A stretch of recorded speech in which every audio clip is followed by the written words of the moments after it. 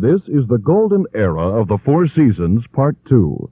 We're here with Bob Gaudio, Joe Long, Demetri Callas, and Frankie Valli, hearing their words, their story, and their music. The year is 1964. Musically, the Beatles and countless other groups have invaded the American music charts. Guys, what do you remember about it, and how did you think it would affect the Four Seasons? Uh, oh, wow. well, I remember at one point the Beatles were one, two, and we were three with Dawn, and the Beatles were four and five. so it was a little confining. Mm-hmm. You were surrounded by good company. I'd say so. I was I, I was still a year. That was still a year before I was to join the group. So I was, I could remember looking at the Four Seasons as an outsider, and uh, it seemed to me that uh, the Seasons were the only American group at that time that were able to buck the English trend. Mm-hmm. Because you know I was pretty involved in music myself, and I could I, I used to look at the charts or listen to the radio, and I I got to feel. Uh, a, a little down that the American groups were just not knocked by the wayside, but the Four Seasons were the only American group that were able to sustain the British invasion. I think also uh, the Beach Boys were still pretty. Yeah, I guess together. the Beach Boys were. They had a couple yeah. hits I remember during that whole time. Did any of you ever meet the Beatles or the Rolling Stones? Frankie uh, spent the day with the Beatles when he went to Rome on vacation. Uh, the Stones, I don't know if you. I've never met the Stones. No. Frankie, what do you remember of your meeting with the Beatles? Well, I met the Beatles when uh, when they were pretty much together uh, as a group and headwise, and uh, they were really out of sight. I really had a very enjoyable time. Now a decision was made to leave a relatively small but successful label, Vee Jay, and finally sign with Philips. What was the story behind it? Money. it's that simple. Uh, uh, we weren't too thrilled with the way the payments were and so on and so forth. There were some problems. Uh, accounting problems as to how many records were sold, how many we thought it sold, how many they thought it sold. And uh, it just got to be a very uncomfortable situation. So we went into a litigation and uh, we managed to get all our tapes back, all the masters, which were then later released on uh, Philips and Gold albums. The first Philips release was one of the all time Four Seasons greats, Dawn, in February 1964. I just remember being very. In fact, we had that song recorded before we made the deal with Philips, and, uh, and it was terrible just to sit on it for as long as we had to. I mean, to know we had something in the can that we felt was a top ten record, and, and not be able to put it out because of a litigation between record companies. Right. It wasn't long after that Vee Jay released your version of the old Maurice Williams hit, Stay. Did this surprise you?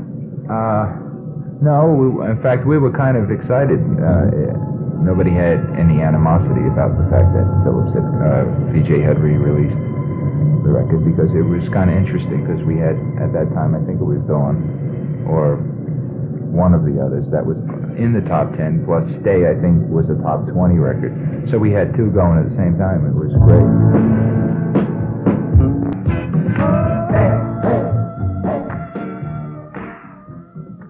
Frankie, do you feel that your association with Bob Crewe led to your initial success and then your continued success? Uh, I think uh, for talented people, success at one time or another is inevitable. The right combination of things, the right chemistry. And uh, whether it would have been with Bob Crewe or or any other producer, I think it was, you know, it was bound to happen. Bob, your second album for Philips was Born to Wander. I got the impression that Philips was attempting to change your image. Either they were going for a folk group or a copy of the Beach Boys, especially with No Surfing Today. The Born to Wander album is terrible. Oh, that was, I, I, you know, I'll tell you the truth. I don't even really remember what possessed us to get into that whole thing because it wasn't our bag and we were just experimenting a little bit. And it came out fairly decent and we put it out, but it was not really us. And it was Okay. As an example, we have one of the folk cuts off of that album, written by you and Bob Crewe, called Searching wind, keep searching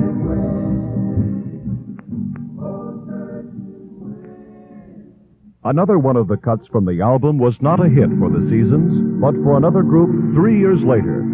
The song is Silence is Golden, again written by Bob Gaudio and Bob Crewe. Oh,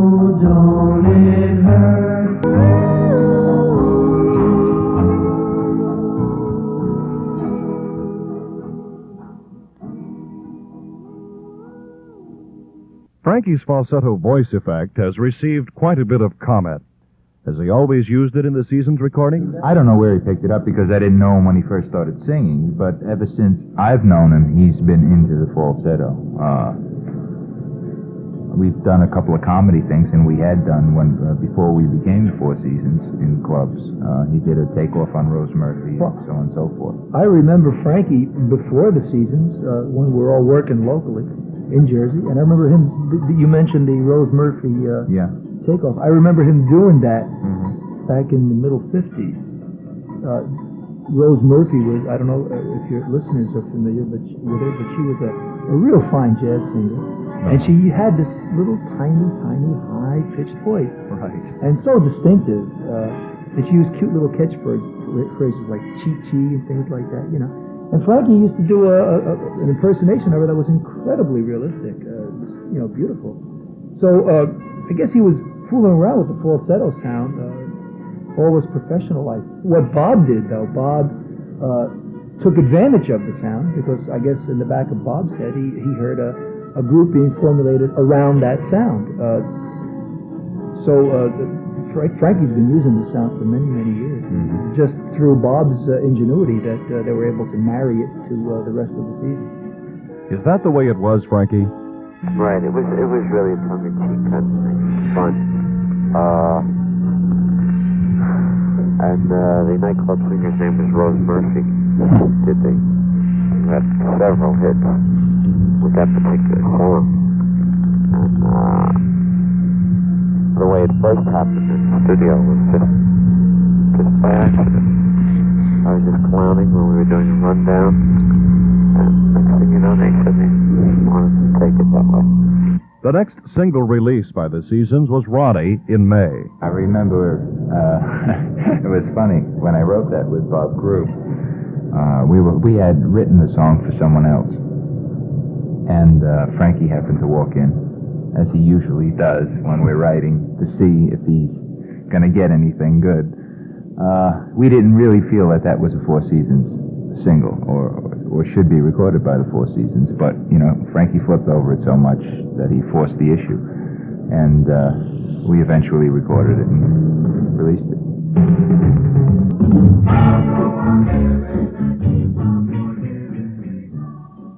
The next single was another Vee Jay release in May, Alone, that the Shepherd Sisters had done in the 1950s. Had you done a series of oldies or oldie albums for Vee Jay?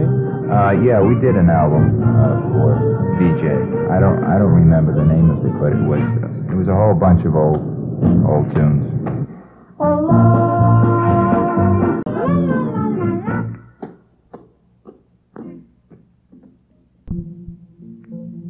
The next Philips release had to be the biggest single record the group ever had. In July, you had Rag Doll. Tell us about it. That was a fantastic five dollar investment. Oh, That paid off very well. Uh, in New York, on the uh, west side, as you're coming into the city, there's one traffic light that must be a minute and a half. Now, when the cars pull up, there's little kids that come and clean off your windows with rags. They never do a very good job, but you give them some change or something. And this one particular time I had been going into the city, uh, this little girl came over. It was the first time I ever saw a girl. And I didn't have any change at all. You know, I just couldn't find anything. And the smallest bill I had was a $5 bill, and I just could not just leave her and not give her anything, you know. So I gave her a $5 bill, and the look on her face stayed with me for the rest of the week. And she looked like exactly what the song said.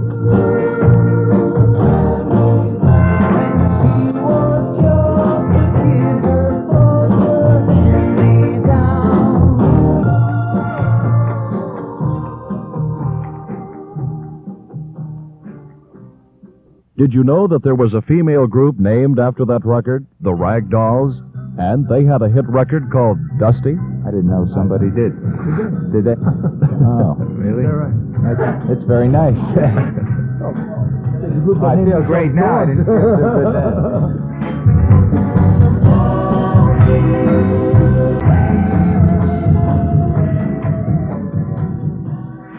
It's funny that you didn't remember the record. Bob Crewe wrote it, along with Sandy Linzer and Denny Randell, who wrote many of your hits, and it was produced by Charlie Calello, your producer. What changes in the music do you feel took place between 1962 and, and 1964, other than the Beatles?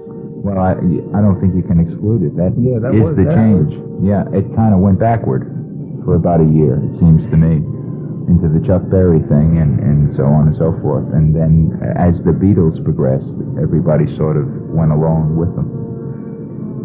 It was kind of an interesting turnaround. They came on the scene doing what everybody else had done five or six years earlier, and then uh, within a year, everybody was doing what they were doing. you know, they just set the whole business on, its- on you know, turned it right around. The next four season single on Philips was a record called Save It For Me in September 1964. Let's ask Frankie about it. I think that, uh, in my opinion, I think it's one of the best songs we've ever done. Happens to be one of my very favorites. Uh, I like the message of the song and the melodic structure of the music itself. Don't let your love go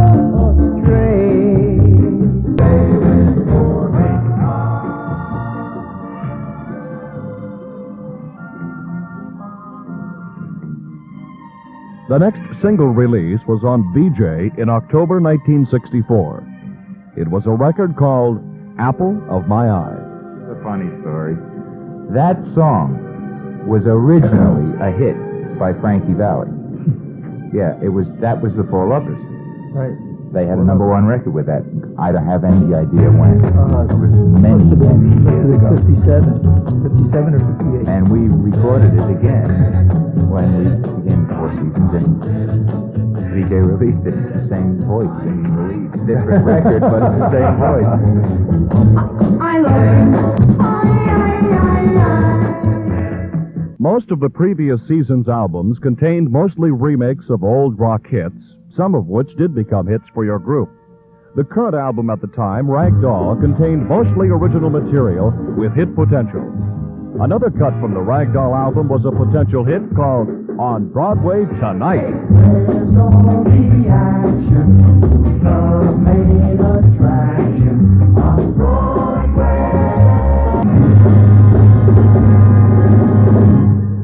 The next four season single was released in November 1964. That was Big Man in Town. What would you like to know about that? Uh, Other than the fact that I feel it was a horrible record. I don't know. It just it it was one of those songs that we thought we had a a, a good foundation to go in and record, but for some reason the session didn't come together. You know, it, it was just one of those things where it, didn't seem to feel right when it was done. We released it anyway because it, again, uh, a situation where we didn't have anything else at the time. But I don't think anybody really felt that it was really a, a, a thing that we could really be proud of. It just wasn't completely together.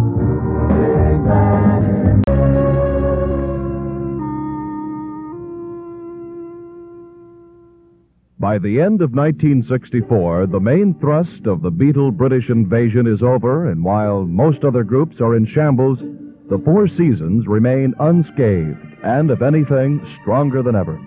Why do you think the Beatles were so influential? Everybody was uh, satisfied in going backwards along with them, you know.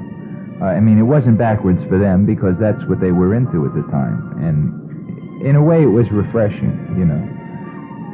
Uh, I don't really think early, the early Beatles during the 64 and 65 year uh, didn't knock me out at all.